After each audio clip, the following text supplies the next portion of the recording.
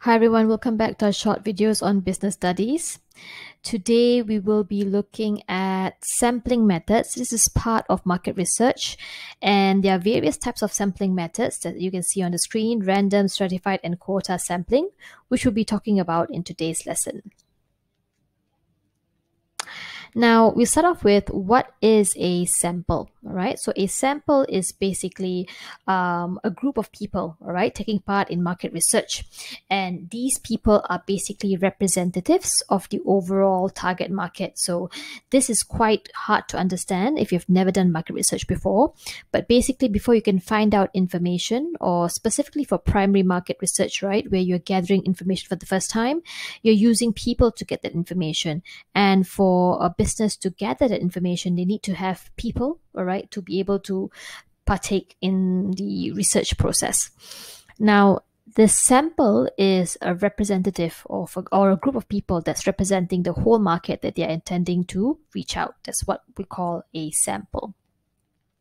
Now, why do we need to have a sample, right? Because it's impossible to gather everyone in this world, right, to partake in this market research, right, or the overall population in this country or in this, this world, right? So, because of that, it's better, uh, easier to gather a small sample size, okay?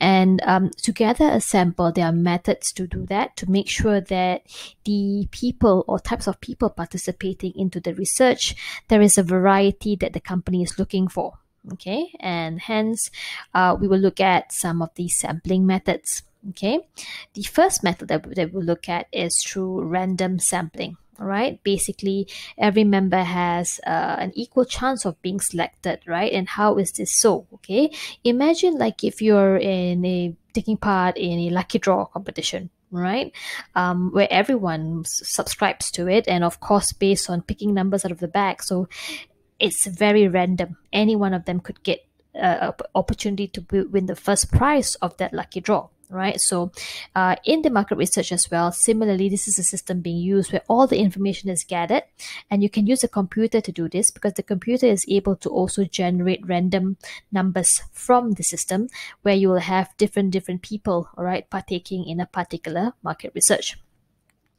now, there are some limitations in doing this. Of course, it's quite easy to gather information and just use the computer to gather to get the the the uh, the, the people who will be partaking in the research. Um, there could be some limitations as well because sometimes the selection may be disproportionate, where you don't have um, an equal variety of different different groups in, inside, right?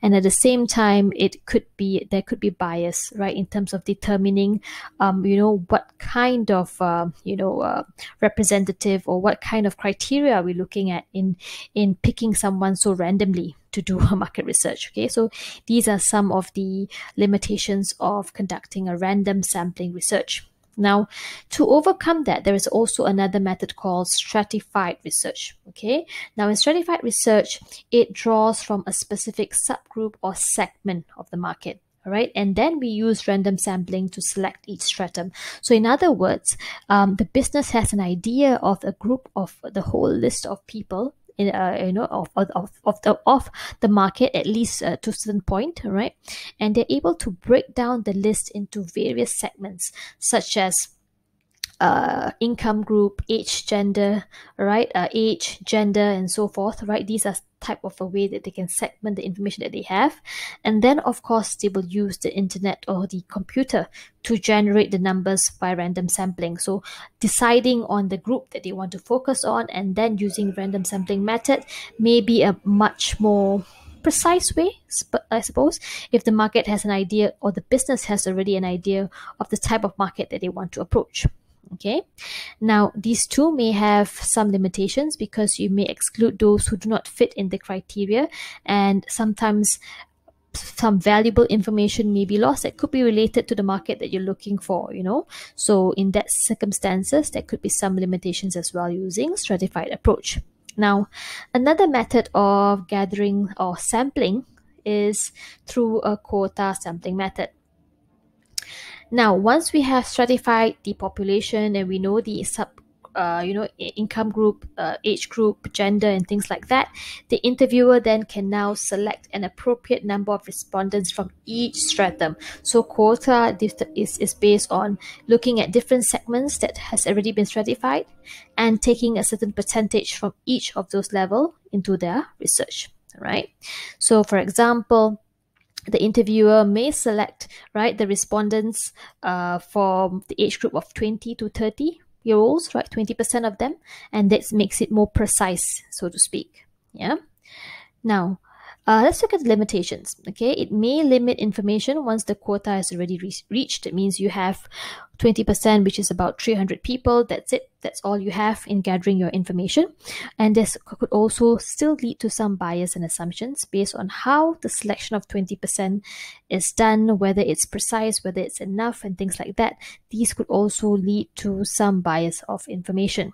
So there you go. You have covered what a sample means, why do we need to sample, as well as the various sampling methods of random, stratified, quota, the examples of it, as well as the limitations.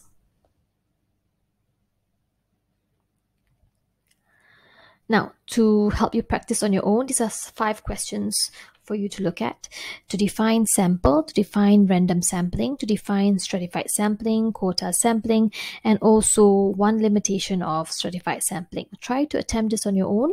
And as usual, remember that the materials online or at least for my videos is to give you a quick snapshot of information more reading would be required from your textbooks and materials that you have This means that we have come to the end of today's lesson and is as usual, please share, like and subscribe if you find this useful to you. Thank you so much and have a great day ahead.